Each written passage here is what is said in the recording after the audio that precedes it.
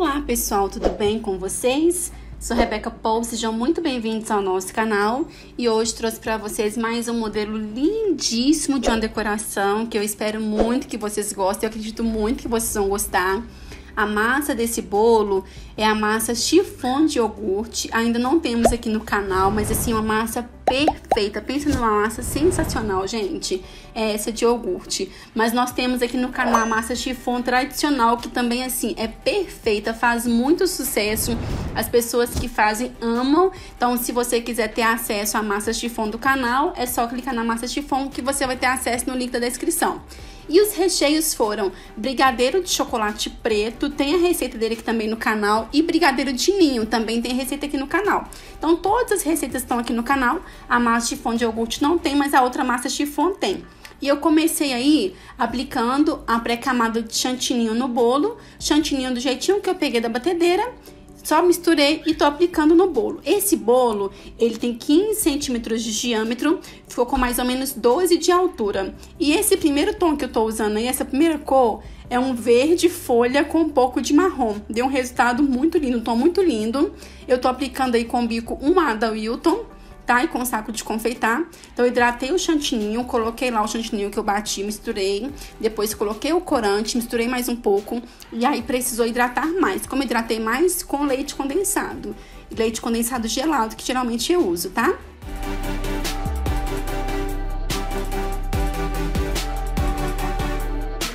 Já peço, pessoal, que se vocês gostarem do vídeo, estiverem gostando do que a gente está propondo para vocês aqui no canal, por gentileza, dá o seu joinha, clique no gostei. Se você não é inscrito no canal ainda, se inscreva, porque você é muito bem-vindo e muito bem-vinda por aqui. A gente faz tudo com muito carinho para vocês. Ative as notificações e clique em todas. Assim, toda vez que sair um vídeo novo, o YouTube te avisa e você não perde nada do nosso canal. E também siga a gente nas redes sociais, Instagram e Facebook, a gente ama ter vocês conosco. Gente, olha só, eu tô com mania de fazer o chantininho a conta de aplicar no bolo. Vocês perceberam aí no finalzinho que até faltou um pouquinho? O bom é que na hora de puxar deu pra tampar direitinho. Mas assim, o lado bom é que não tem desperdício. Então assim, não ficou no chantininho nenhum de sobra ali. Graças a Deus não teve desperdício, mas eu acabei passando um apertozinho aí. Olha o brilho desse chantininho, que lindo. Gente, um chantininho bem hidratado é outra coisa. Então, um brilho perfeito. Tem a receita desse chantininho aqui no canal também. Se você quiser fazer um chantininho perfeito, lisinho, com esse brilho, a receita está disponível aqui para vocês. E aí eu passei em cima aquela espátula de cortar bolo. E na lateral eu tô passando essa espátula amarela, que é da Blue Star. Passo a espátula, quando vai, é, não consegue pegar tudo com a espátula, eu venho aplicando o chantininho onde ficou faltando. Então, como eu falei com vocês que foi a conta, então um pouquinho que ia sobrando na espátula que eu na hora de alisar, eu pegava esse pouquinho e ia aplicando onde estava faltando para deixar o meu bolo com liso perfeito. Olha esse tom que lindo, gente, eu amei esse tom de verde. Ficou muito, muito, muito lindo.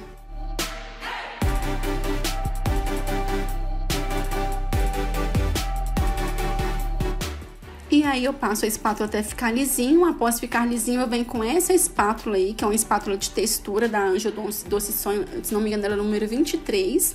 E dá esse efeito lindo aí no bolo. Olha só que lindo esse efeito. Então, eu aplico essa espátula da Anjo Doce Sonho em todo o meu bolo para dar essa textura.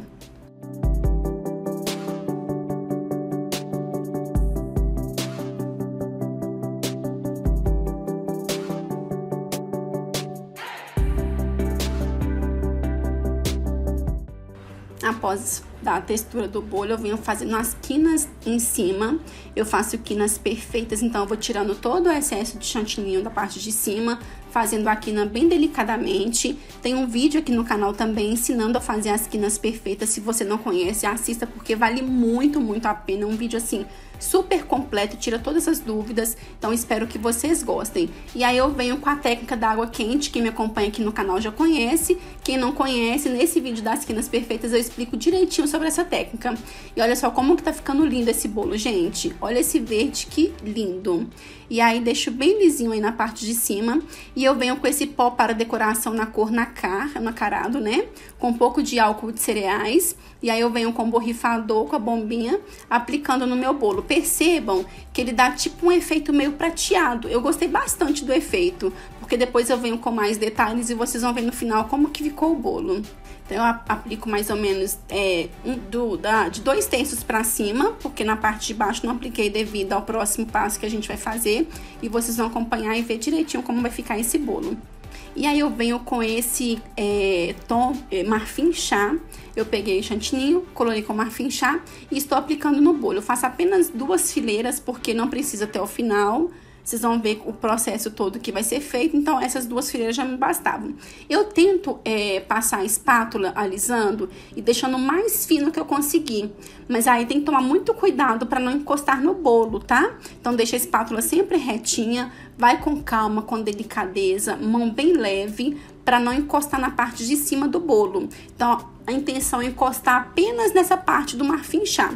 E aí, depois de alisar, eu venho com esse novo tom, que eu peguei o restinho do marfim chá que sobrou, misturei com verde menta e me deu esse tom lindíssimo. E aí, eu vou aplicando no bolo, eu faço também duas fileiras na parte de baixo e vou alisando com o mesmo processo que eu fiz na cor anterior.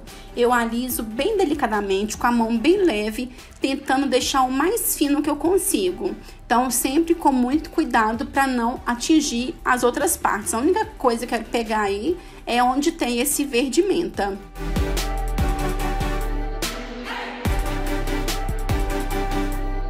E olha só que lindo, gente. Aí eu venho fazendo o espiral na parte de cima.